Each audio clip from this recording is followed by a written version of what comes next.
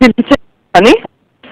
Når, Ja, når man skal lave la, øh, øh, øh, lasagne, skal det ligge kød, øh, øh, øh, plader, kød, plader, kød. Ja, det er nede i delikatessen. Ja, Ja?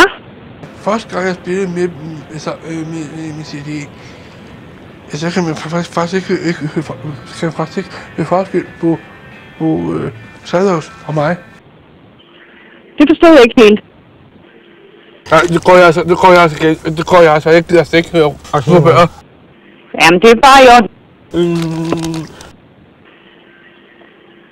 We never see again. Ja.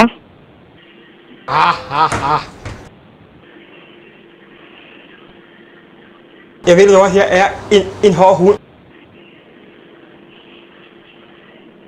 Altså, jeg forstår ikke helt. Morten Jensen.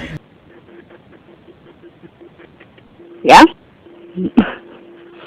Når man, når man skal lave la, øh, øh, øh, lasagne, skal det ligge kød, øh, øh, plader, kød, plader, kød. Nogle sandwich. Det er jo højere til Piperne fra os.